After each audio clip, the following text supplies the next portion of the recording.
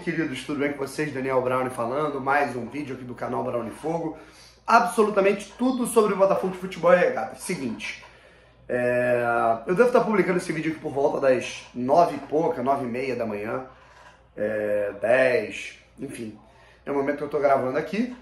É... E eu acho que vai ser o único conteúdo de hoje, né, até ali à noite, né, vamos colocar ali oito, nove da noite, é, onde a gente vai trocar uma ideia rápida sobre é, o jogo e aí depois teremos a cobertura do jogo. Como é que vai funcionar isso? Né? Vou explicar tudo. Né? E tudo que a gente tem a falar aqui sobre Rafael Navarro, que é importante, né? e também sobre algumas informações a respeito da partida.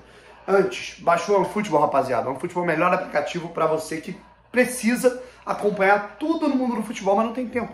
Certo? Você trabalha muito, estuda muito. Você gosta de acompanhar os campeonatos, inglês, francês, alemão, é, Copa do Brasil, Campeonato Brasileiro, só que você não tem tempo para acompanhar tudo. E aí você abre o futebol de manhã e vê todos os caras, caramba, segunda-feira tem esses jogos, terça tem esses, quarta tem aquele. E aí você fica por dentro dos seus jogadores, ligas e jogos favoritos. Além de ver campeonatos de graça, né? Campeonato alemão, campeonato francês, Copa do Brasil, cara, gratuito, tudo, todas as informações de futebol, vai na minha, o link tá na descrição. É, assim, eu acredito que eu venha fazer algum tipo de conteúdo em live amanhã antes da partida. É, e após o jogo, cara, vamos ver como é que vai ser a parada em termos de vídeo ou transmissão ao vivo também, tá bom? É, agora eu quero falar um pouquinho sobre o Rafael Navarro, tá? Começando aí com o Rafael Navarro, eu quero falar aqui um pouquinho sobre é, essa situação dele com o o Minnesota, né, que seria esse destino dele envolvendo é, o futebol dos Estados Unidos, tá bom? É, saiu uma proposta que ele estava encaminhando, né? Saiu uma notícia na, na semana passada que ele estava encaminhando a sua, o seu acerto né, com o Minnesota United, que é um time que hoje disputa a MLS, que é a principal é, liga dos Estados Unidos né, de futebol. É, e parece que ele recusou essa proposta.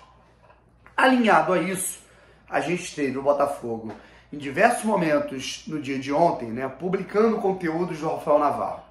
E o presidente Dorcésio Melo confirmando mais uma vez que o Botafogo vai fazer uma investida final, né, com um investimento alto nesse atleta para que ele fique no Botafogo. Meu sentimento é de que ele não fica, tá, gente? Eu acho que ele não fica, mesmo que ele tenha recusado essa proposta, mesmo que ele é, o Botafogo venha fazer essa, essa cartada final, eu acho que ele não vai ficar. Eu acho, inclusive, que ele deve manter a ideia, né? Quando eu falo ele deve, é o que eu acho que é a tendência, tá? Não o que eu acho que é o certo, pelo amor de Deus. O que eu quero é que ele fique no Botafogo. Mas eu não acho que ele venha ficar. Eu acho que ele vai até para os Estados Unidos mesmo. Existia até uma, é, uma outra proposta do clube, né? Eu não, não duvidaria até de Europa também, né? É, mas eu, eu, eu não sei para onde ele vai. Mas eu sinceramente acredito que o Rafael Navarro jogue no futebol do exterior em 2022, tá? É, por conta dessa situação de luvas, né? Retorno financeiro. É, eu acho que dependendo do lugar que ele, que ele venha jogar e a quantia que ele venha a, a abocanhar, cara, tudo é questão do valor. Se ele, se ele for para um clube que pague essas 8 milhões, esses 8 milhões de reais de luvas, né, cara, não tem o que fazer, não tem justificativa. Ele pode jogar até na, no Polo Norte, né, cara, no, no, no, no Iglu, né? Porra, é muito dinheiro, cara. Mas agora, eu acho que se for um dinheiro ok para ele ir para um mercado onde ele vai sumir, sendo que aqui ele teria até, até abrindo o leque, não vou nem falar só de Botafogo, jogando Série A, Atlético Mineiro sondou, Internacional sondou, né? Então você tem clubes aí, o Palmeiras sondou. Então é, são, são situações que o Rafa Navarro ele poderia né, ter é, pô, projeções aí de carreira maiores, cara. E é um cara que, na minha opinião, tem qualidade para isso. Não é um craque, né, não é um cara que vai jogar na seleção brasileira um dia, assim, tipo, não acho. Né, mas, é um, mas é um jogador que tem muita qualidade para jogar no futebol brasileiro da Série A. Né? Eu acho que ele é um cara que crava gols aí na, na, na Série A é, da maneira que ele está, certo? Bom, agora eu quero falar um pouquinho sobre o jogo, Botafogo e Guarani. É um jogo festivo, é um jogo que o Botafogo já está com a taça na mão, o Botafogo já está com acesso na mão, Não tem nada que envolva assim, putz, o Botafogo precisa ganhar para ir. Não, acabou. O Botafogo já é o campeão da Série B. Só que agora, do outro lado, tem um adversário que vai jogar a vida. Né? O Guarani ele precisa vencer e torcer por uma combinação de resultados aí de outros adversários concorrentes para se classificar para a primeira divisão. Voltar para a Série A depois de 10 anos, né? 10 anos, eu acho. Na real, são 11 anos, né, cara, que o Guarani não disputa a primeira divisão. A última foi em 2010, né, cara? O Guarani foi rebaixado. Né? Desde 2011 ele tá aí figurando Série B e até Série C, né? É, eu gosto do Guarani, cara, mas eu acho que não tem negócio, não tem negociação, gente. É, são 40 mil pessoas dentro do estádio, até em projeção para 2022. É, são 40 mil pessoas dentro do estádio, tá? Tem que engajar sócio torcedor, tem que tornar a experiência do torcedor que vai ao jogo, né? Um cara que nunca foi, um cara que não vai há cinco anos, que vai ter isso, cara. Aqui, Botafogo ele tá resgatando esse torcedor que tava meio que tinha abandonado um pouco, porque tava mal com o clube e tal. O cara vai voltar ao estádio. A experiência dele tem que ser boa. Ele tem que sentir que o clube de fato está mudando. Né? Claro que vai ter confusão, sempre tem, porque é muita gente e a gente está voltando a ter evento agora. É, confusão que eu diga para entrar, tal, enfim. É, mas a experiência desse cara no estádio tem que ser boa, né? Para captar o é, é, recurso para o território alvinegro, sócio torcedor, né? A gente não vai ter venda de camisa ainda, mas é, já é um avanço o cara ter uma experiência boa.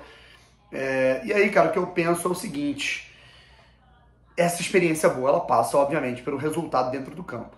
Certo? O Botafogo perde 2 a 0 3 a 0 pro Guarani, não vai ficar legal. Pode até ter uma vaia no fim do jogo, né? Aí você pensa em 2022, projeção do ânimo dessa galera para 2022, ó, não sei não com esse time e tal. Então é importante ganhar, tá? Individu individualmente até para os jogadores, sabe?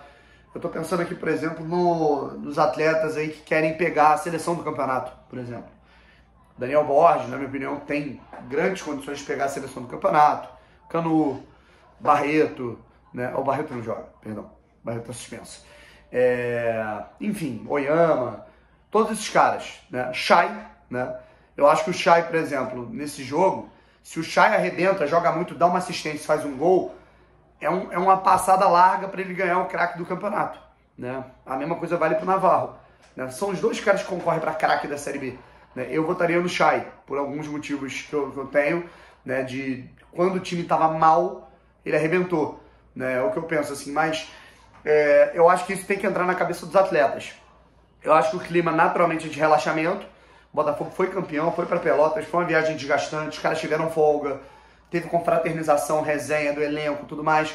Obviamente que o, foco não é o mesmo do momento que estavam brigando pelo acesso, até pelo título.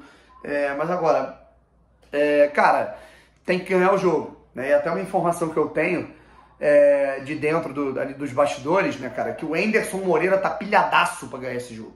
Sabe, os jogadores estão relaxados por motivos óbvios, já concretizaram o motivo dele, já alcançaram o objetivo deles, né, que era o acesso e o título. Ponto, não tem mais o que cobrar, né? Mas agora, o Enderson está pilhado para fazer bonito na frente da torcida do Botafogo com 40 mil pessoas no estádio. Ele tá pilhadaço, né? Ele tá batendo nessa tecla, caralho, a torcida vem em peso, né?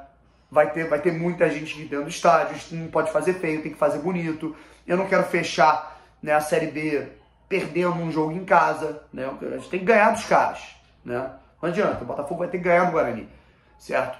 E vai ter que atingir essa pontuação aí máxima, né, de mais três pontos, é, fechando a Série B com pô, uma baita campanha, melhor ataque, melhor defesa, tudo mais. Então, o Botafogo tem que ganhar o jogo, cara. Essa é a grande verdade né? E o, e o Anderson tá pilhado.